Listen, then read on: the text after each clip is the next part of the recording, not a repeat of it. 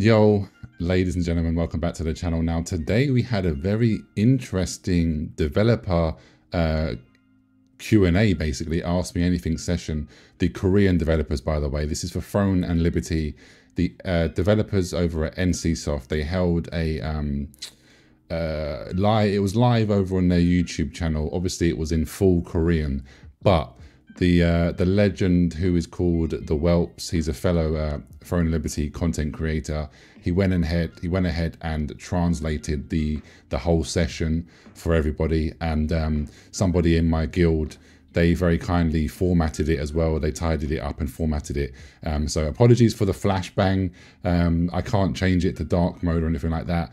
Um, I was going to go ahead and format it myself, but they've saved me a job. So why not just use what they've done for me? So yeah, that's perfect. Um, so yeah, I'm going to put Whelps' uh, Twitch channel in the description down below. So if you don't know who he is already, you should do by now. But if you don't, um, follow him over on Twitch. He's a legend. He always um, translates translates for us because he speaks Korean, fluent Korean. So yeah, that's nice. Nice to have him there.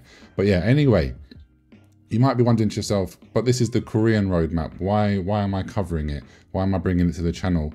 Well, the reason why I'm bringing it to the channel is um, one, it's very exciting what what they what they've got coming up, and two, because everything that we're seeing here will follow its will follow us to the global version. So the only thing is we don't know the exact time scale. So for example, there's some stuff that I'll read to you in a minute that's coming in October that that's for the Korean version. We won't see this.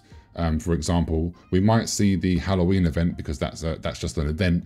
But um, the, the other stuff we're not going to see because that's like tier two stuff and beyond. But there is some other stuff coming after that that we could possibly see um, at the same time or maybe a week or two after because there's no real reason why they, they can't, you know, put it to, put it to us at the same time as it is in Korea. But nevertheless, we are also waiting for the Amazon uh, Games Studios. They're going to be giving us a global roadmap. So it's going to be very exciting. I'm going to cover that and we'll be able to actually see, judge on this one and judge on that one if there's any overlap. So yeah, but anyway, let's get into this one. Um, so content schedule for October uh, in Korea, we're going to be getting the artifact introduction. So introduction of new artifacts, which is going to include four Talus stones, two gemstones, each with active or passive skills. They're going to be farmable in the Abyss dungeons, which is going to enhance your character's abilities with set bonuses. So that's really interesting. We already knew about artifacts. They actually got delayed. Artifacts was initially meant to come uh, when we got Talandre, um, but they said because of the runes and the, the you know the large expansion, they didn't want to then also add artifacts to the mix as well. It would just be too much for everybody to to wrap their heads around. So this is nothing new, but now we have a date or a rough date. So October next month, we're going to be getting that in the Korean version. There's a new arc boss coming called Giant Brock, a new challenging boss providing unique loot for players. So this will definitely not be in the global version. Um, there's going to be a Halloween event, so obviously that is what it is. New skins, um, stuff like that. There's going to be in in uh, Talandre. There's going to be rifts and boonstones. So uh, again, we're not going to be getting that in our version, but it's it's still it's still good to see. Um, then this is this is the interesting bit as well. Nebula Island debut. This is a new 24/7 PvP zone with inter-server battles featuring a mix of conflict and peace areas. So 80% is conflict, 20% is peace. Now, this is inter-server, so this is actually an island. It's going to be in its own... Um, uh, it's got nothing to do with your server, so you're going to be teleported. Uh, what's the word I'm thinking of? It's going to be in its own instance, so it's instance-based. So there's going to be server A, and then server B can also join it and maybe server C for example. So all three all three of our servers can come there and we can roam around the area and you can basically battle it out. But there is a caveat to this. Um, I believe Whelp said it does use Abyss. It's going to use Abyss tokens, so it's and there's a there's a limit to it. So although it's a 24/7 PvP zone, it's still technically time gated. So we'll have to see how that you know pans out and how it plays out. Because bear in mind, whatever happens here, if they don't bring it to us at the same time, there's still time and chance for them to to edit it, change it, and you know move stuff around. So yeah. Anyway, nevertheless, then in November, this is huge, guys. We knew about this as well, but we didn't we didn't know when it was coming.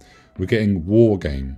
Now this is basically battlegrounds. They said that they want they want to bring this to the to the game so that solo players who you know you want to you, you just want to queue up for some PvP. You don't want to have to go with your guild. Maybe you're not even in a guild. Maybe you're in a small guild. Whatever the reason is, you can just literally hop on. Um, this is for large scale battles. So there's 48 versus 48. There's 24 versus 24 and there's going to be 12 versus 12 so this is this is going to be great fun um, it's going to have custom lobbies and also league systems as well which is just crazy um, there's going to be a new season for the challenge dungeons so there's going to be new levels and challenges for players they're going to be introducing a Guardian leveling system. Now, I did a video showcasing some of the new Guardians in the game, but now we're actually going to have a system to level the Guardians. So I like the fact that they're the Guardians are very unique as it is, but the fact that we're now going to be able to take that one step further and actually level those Guardians. Um, and by the way, that's going to be done through in-game content, no pay to win or anything like that. Um, they're actually going to be reworking the mastery system. So they're making comprehensive adjustments to the mastery system to balance roles and gameplay. I'm, I'm not sure how that's going to look in game, obviously, but that's interesting that they're doing that so soon as well. Um, then in December, it's the one year anniversary event, so celebrations with special in game activities and rewards. Now, I wonder if, because obviously this is the one year anniversary event for the Korean launch, so I wonder if, even though it's not one year for global, I wonder if we're still going to get that because it's, it's, such a big event, you know, it's the one year anniversary. Um, it would be nice for us to get that because it says also we're going to be getting the new weapon, likely updates and enhancements also to existing weapons. Now, they didn't say spear, but they've mentioned the spear before, and everything else we know about is always mentioned spear. Um, so I wonder why they never actually said spear in today's stream, but Either way, whatever. We're getting a new weapon in December. Hopefully we get that over on our version as well. Then we're going to have enhanced honor and mastery systems. So further development of the mastery and honor systems to refine player progression and skills. So again, interesting. We're going to have to find out, wait and see what that is all about. Then we're getting a new arena map, which is huge already. Then fishing codex and secret cooking recipes. Hyper Boost event planning. So basically, they're planning to do another Hyper Boost server over in Korea uh, at the in, in December because in January, as you can see here, there's they're basically adding a 12 man raid and also a one man dungeon. Continuation and introduction of new challenges in both group and solo settings. This is huge, guys. Very, very, very good news then this is the next uh, insane, like all of this stuff, guys, is coming so fast as well. Inter server sieges and seasonal events. So new scale PvP events and themed activities. Then we have content details and balances. They're going to be introducing Chaos Runes, which is enhanced runes with high stats compatible with any rune slot. Um, so that's going to be interesting to see. So more power, basically. And then they talked, they did touch upon weapon balance details, and the chat was going crazy about Greatsword, Nerf Greatsword. but they said this for uh, Sword and Shield. Endurance versus DPS. The balance adjustment will focus on the mastery rework, allowing players to choose specializations towards either being a tank or DPS roles more efficiently. So basically what they said was, TLDR is, they Sword and Shield is fine. Like they want them to be so tanky, but they understand that the damage that the tanks are dealing is not acceptable, which is 100% correct.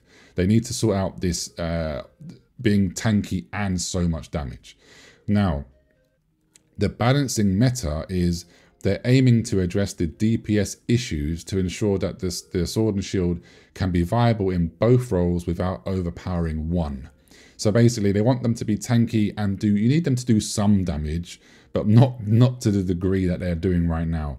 Now, bow. I'm a staff bow main. Um, bow is going to be getting a nerf. It, it, it, to be fair, it's needed. Tornado and Flash Wave. These abilities are considered too strong. Adjustments are going to be made to the heavy attack power and evasion capabilities when using the artifact. So what they were basically saying is that the artifact, there's going they're, now adding um, heavy attack evasion into the game and you get that via the artifacts. So the barrier modifi modifications may include adding a cooldown because currently right now there is no cooldown, which is obviously ridiculous. And they're going to adjust the shield value to balance its defensive capabilities. Deadly marker, currently there's no plans to change its functionality, but its damage relative to crowd control effects is under review. Right now, they said it's working as intended. They're, they're pretty happy with it um, like being able to be stacked basically. So for now, they're not going to touch it. Um, so we'll see. Now, great sword, stun and control effects. The charge and ice spear bind attacks are too strong. The plan is to convert these into fury attacks, which will be blockable, adding a layer of skill in countering these moves. And the developer kind of said that Great Sword is fine. Um, and all it needs is to basically, these things need to be changed into Fury attacks so that you have a chance to block it. Now, the the chat did not like that. In the in uh, Whelps was saying that a lot of these people in the chat, Koreans by the way, were saying that nerf nerf the Great Sword. This is ridiculous. Um, so yeah, that's quite funny. So balance in small versus large scale. The Great Sword works very well in small scale, but it falls off in larger scale and PvE. The goal is to maintain its viability across all gameplay aspects. They're saying that the heavy attack is the major problem. So to address the, the problem of one-shot combos, new countermeasures will be introduced likely through the artifacts. Again, that's touching upon the uh, heavy attack evasion that they're going to add through artifacts. Um, so they're basically saying that heavy attack is the problem, not not anything else. So we, we will see. We shall see. Now, crossbow. It's going to get a PvP buff. Plans are in place to enhance the crossbow's effectiveness in PvP scenarios, which is, you know, in PvP it does fall off at endgame. PvE now, despite the previous nerf, the crossbow still remains the highest, yes, you, you read that correctly, the highest DPS weapon in PvE. It will retain this status, but with balanced mechanics. So yeah, it is what it is. Now, Wand it's the the focus will be on ensuring that healers can stay alive, um, which might include adjusting the healing output to prevent overpowering in PvP scenarios. Basically, overall, they're happy with the wand. They want healers to be able to obviously survive. Um, they do understand that the healer's output to other, you know, to party members, and sometimes it can be a little bit too strong. But for now, they're just going to keep an eye on it and see how it goes. Now, staff the Ice Spear bind is going to be changed. We, I've touched upon this earlier. It's going to be changed to a Fury attack, um, which requires players to obviously block or counter to increase the skill cap. So they're happy. They they literally said they're happy with the Ice Spear. They're happy with staff, but they're going to make that a Fury attack, so people actually can, you know, you can block it. You have a chance to block it. The staff is considered to be in a good spot with no significant changes planned except for that one adjustment. So yeah, is what it is. So my staff, I'm happy with that. Staff is not getting too much of a change. Bow is getting a change, but it's granted.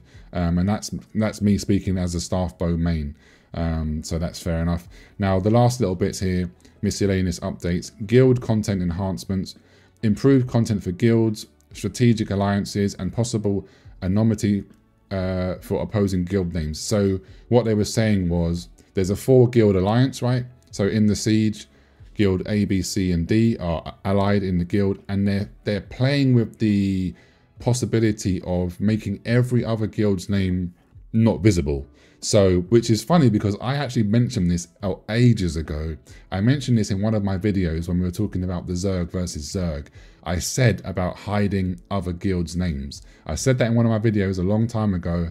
Um, so it's interesting to see that they actually might they might actually be doing that. So I think I think that's pretty cool because what's happening is obviously people from the four guild alliances, people from outside of that, there's nothing to stop you saying, okay, guild E, team up with us. We're not going to kill you in siege. We'll see you in siege. We're going to leave you alone.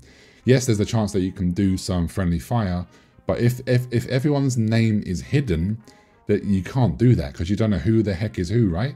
So we shall see. Um, rune management and resource allocations, they're talking about improving the quality of life and they may also um, they may also be adding rune bags, but they're not sure about that. And as you can see here, there is event coupons. They always do this. This is only for the Korean version. So make sure if you're playing over in Korea, you can use these coupons here. I'll pin those in, I'll pin this in the comment section down below to make it easier for you guys and girls. Then Infinity, dungeon enhancements and targeting system improvements. There's plans to improve the dungeon rewards and also improve the targeting because the targeting system is pretty bad. It doesn't, it half the time it will target something over there and um, you'll be right next to an enemy and it won't target them. So that has caused a lot of issues in, in PvP and stuff. So it's good to see that they know about that and they're, you know, looking to improve that. Um, there was a few other little bits and bobs that got mentioned. I'm just trying to remember. Um, they were thinking of doing something else. It's not. It's not here, um, unless I've unless I've missed it. I don't think I have missed it. Um, oh no, I did. I did talk about the one man dungeon and stuff like that. Yeah, I did. So yeah. So basically, guys, it's a big W patch. Um, I'm very, very interested, like I said, to see where does this leave global? Like how many weeks after are some of these things going to come at the exact same time? Apart from obviously the Talandre and the, the, the, the tier two stuff won't come at the same time because that's not possible, right? But other stuff can, like these, um, the the weapon balancing that can come at the same time. Um, also, the new weapon could, come at the same time. The inter-server um, PvP zone could in theory come at the same time. So things like that can can you know sort of work together, but we'll have to wait and see. I'm waiting for the Amazon Game Studios roadmap, like I said. Um, so yeah, stay tuned for that. I will cover that on the channel. And yeah, that's that's going to be it for today. Plenty more videos coming from me. Like, share, and subscribe, and I'll see you soon. Take care. Peace.